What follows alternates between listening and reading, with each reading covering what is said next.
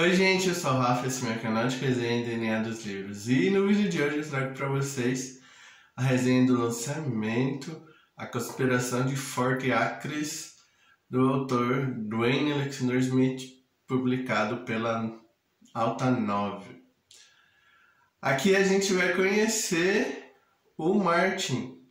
Martin é um advogado que acaba de ganhar uma causa muito importante o seu cliente processou a ex-empresa dele por racismo e o Martin consegue com que ele ganhe a causa e ganhe uma indenização muito grande. É a primeira grande causa ali, um valor tão grande assim, que o Martin ganha. E ele não ganhou de qualquer pessoa. O advogado que defendia a empresa era o Damon, que é considerado ali um dos melhores advogados né, do país, principalmente em causas civis. Né? O Damon e o, e o Martin são dois homens pretos, isso também causou alguma estranheza ali quando o Damon, um advogado preto, aceitou ali defender uma empresa acusada de racismo. Depois dessa vitória ali nos tribunais, o Damon acaba convidando o Martin ali para um jantar na casa dele para eles se aproximarem. É ali naquele jantar que o Martin vai conhecer ali o círculo de amigos do Damon, né? E ele acaba sendo convidado para viajar junto com esse círculo de amigos ali para o final de semana só entre eles, só de homens. Um pouquinho antes da viagem, a esposa do, do Martin descobre que um homem morreu ali na última viagem que esse grupo de amigos fez. Ela fica meio preocupada, mas o Damon acaba acalmando ela e fala: oh, não tem problema, foi só um acidente, a gente toma cuidado, né? Porque eles convidaram o Martin ali para um final de semana de rafting, de aventura.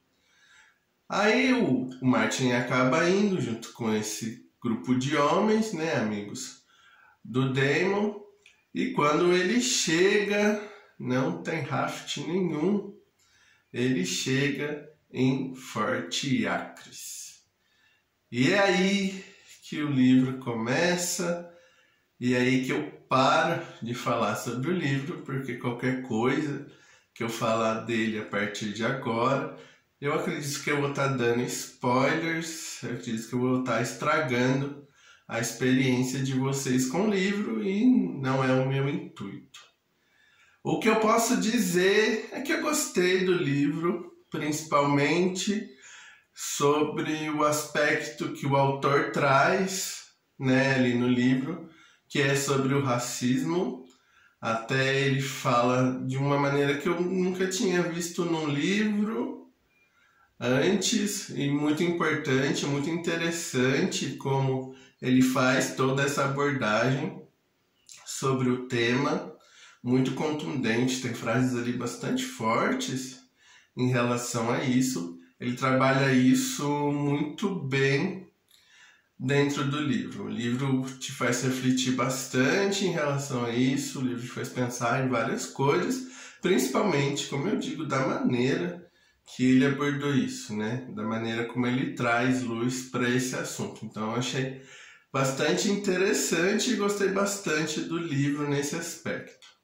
No aspecto suspense, eu achei o livro muito óbvio.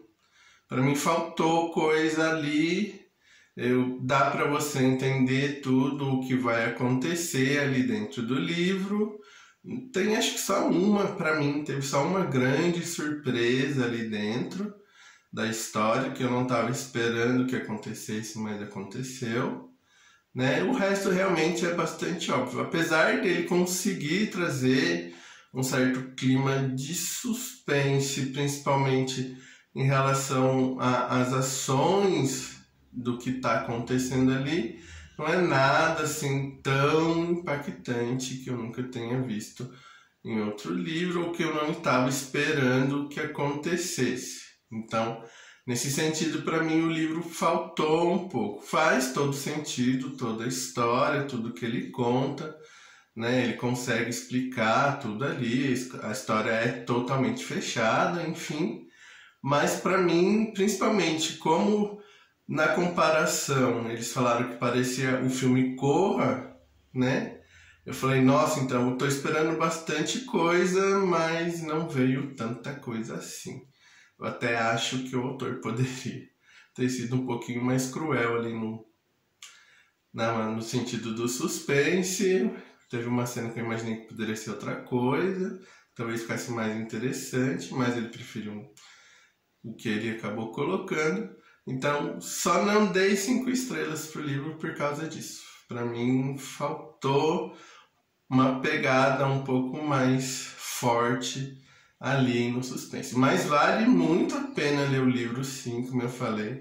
livro que traz bastante reflexões sobre o tema racismo e que também traz um pouco de entretenimento também nesse sentido de suspense. Leia. Dito isso, muito obrigado por estar aqui. Deixe seu like, seu comentário. Se está aqui pela primeira vez, se inscreve, ativa o sininho. Tudo isso me ajuda bastante. Muito obrigado. Tchau.